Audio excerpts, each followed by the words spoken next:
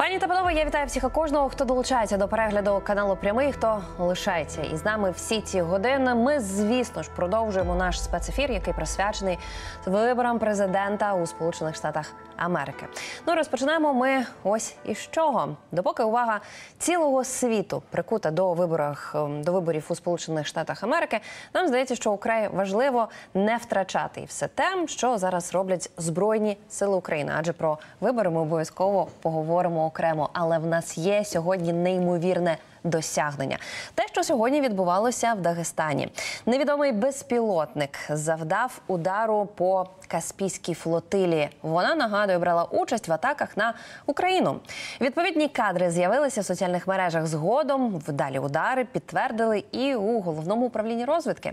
За попередніми даними, ймовірно, пошкоджено два ракетні кораблі Татарстан, Дагестан, ну і кілька малих ракетних кораблів.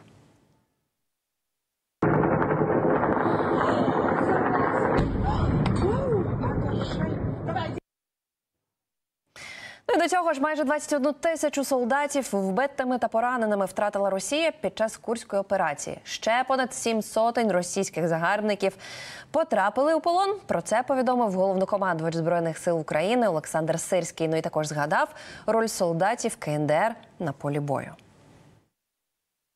Зараз Росія прагне, щоб українські війська вийшли з цієї території. Ворог зосередив там близько 45 тисяч військових і намагається збільшити їх кількість. Власних військ Росії на цей напрямок не вистачає, тому вони намагаються залучити туди військових з північної Кореї. Отже, це означає, що сьогодні максимально поганий день, звісно ж, для е, воєнного злочинця Путіна та й в цілому для країни-агресорки Російської Федерації. З одного боку є дуже конкретні і буквальні втрати на полі бою. З іншого, це звісно все те, що відбувається в Сполучених Штатах Америки. Бо як ми підкреслювали, так і досі лишаємося непохитними на своїй позиції. Не існує в Америці про російського чи про тим паче путінського кандидата. Всі вони будуть проамериканськими, кого б не чекали в Москві у Кремлі. Вони точно сьогодні розчаровані. Тож Путін поки не планує вітати Трампа із перемогою на виборах. Про це заявив речник російського диктатора Дмитро Пісков. Що він сказав? Зараз ми почуємо. Ми аналізуємо слова. Ми аналізуємо слова, які говорять, і головним чином робитимемо висновки щодо заяв, щодо тем, які перебувають на нашому порядку денному, коли вони надійдуть. Чого ще треба буде дочекатися, беручи до уваги, що майже півтора місяця чинний президент США виконуватиме свої обов'язки. Мені невідомо про плани президента Трампа. Давайте не забувати, що йдеться про недружню країну, яка і прямо і опосередковано залучена у війну проти нашої держави.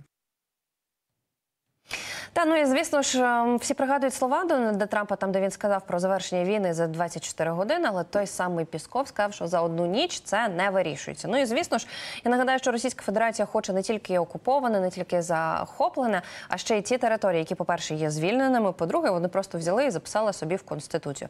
Чи можна собі уявити, що президент Сполучених Штатів Америки, якщо він буде говорити з кимось із представників російської влади, що він на це погодиться, що він проявить свою слабкість, гнучкість позиції, щоб що? Щоб всі говорили, що Америка слабка за нового президента. Це не дуже схоже на правду, але те, що якісь спроби вести перемовини будуть, в цьому сумнівів ми не маємо. Ну і речниця Міністерства закордонних справ, яка, звісно, хотіла випити за перемогу е, зброї в Сполучених Штатах Америки за розпочату громадянську війну, на яку вони робили ставки, але не змогли. Тому тверезою вийшла сьогодні на брифінг, тобто Марія Захарова. Звісно ж, не могла не прокоментувати вибори в Сполучених Штатах Америки і наголосила на тому, що перемагають ті, хто живуть любов'ю до своєї країни. Вона також звернула увагу на те, що Дональд Трамп в своїй промові нібито говорив про те, що Америка хвора країна. Він Дональд Трамп почав говорити про те, що дійсно Америка хвора, і що дійсно треба вирішувати ці самі американські проблеми американському суспільству. Я сподіваюся, що ви пам'ятаєте все, що ми вам показували, та й певно, ви самі просто чули, бачили, як зазвичай російська пропаганда, наприклад, е, називала все ще чинного президента Джо Байдена. Як вони в цілому характеризують всіх американських чи європейських чиновників, немає сенсу.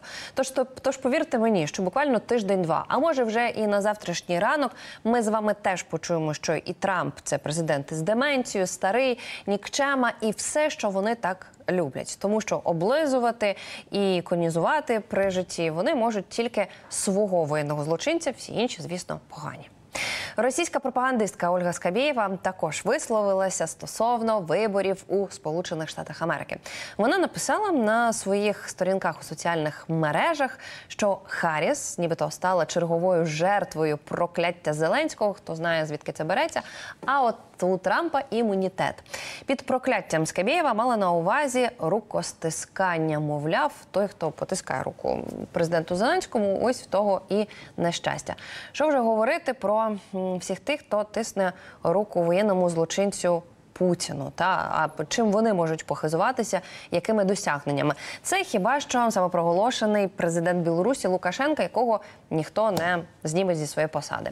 Це Кім Чен Ін, лідер Північної Кореї, який теж у спадок отримав свою позицію, свою посаду і свою владу. Ну і звісно, це лідер Китаю Сі Цзіньпінь, який теж попри встановлені у Китаї норми, скільки один лідер може очолювати цю країну, вже все це пересидів і встановив одноосібну владу. Тобто, фактично, Путін знаходиться серед таких самих узурпаторів чи таких самих ем, лідерів автократів, як і він сам. Ще одне привітання сьогодні. Дональд Трамп отримав від вагомих геополітичних гравців загону Путіна. Тут вже без маргінальних росіян ніяк.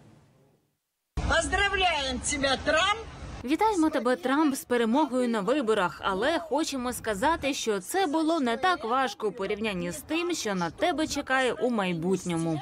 Що тебе чекає в будущем? Е, Фанати Путіна, однолітки Путіна, ну і фактично однолітки Трампа. Чого можна від цього очікувати? Це друзі. Ми вам показали, як країна-агресорка, антагоніст Сполучених Штатів Америки, так чи інакше реагує на вибори у Сполучених Штатах Америки, тому що багато в чому від Америки, від президента тепер вже Трампа буде залежати. Виживе Росія чи ні? Що буде з Путіним? Що буде з їхньою армією? Чим і як ми будемо бити? Саме тому важливо дивитися, що вони говорять. Ну а тепер до більш серйозного. Віце-президентка США Камала Харріс сьогодні не планує звертатись до своїх прихильників із нагоди завершення голосування. Натомість хоче виступити завтра. Співголова її передвиборчої кампанії Седрік Річмонд заявив, що кампанія продовжить свою боротьбу, щоб переконатися, що кожен голос буде врахований та почутий. Дякую, що вірите в обіцянки Америки. У нас все ще є голоси, які потрібно підрахувати. Ми продовжуємо боротися протягом ночі, щоб переконатися, що кожен голос буде підрахований, що кожен голос буде почутий. Тому ви не почуєте віце-президента сьогодні ввечері, але ви почуєте її завтра. Ну і звісно, дуже хочеться почути чинного президента Джо Байдена, але допоки він мовчить.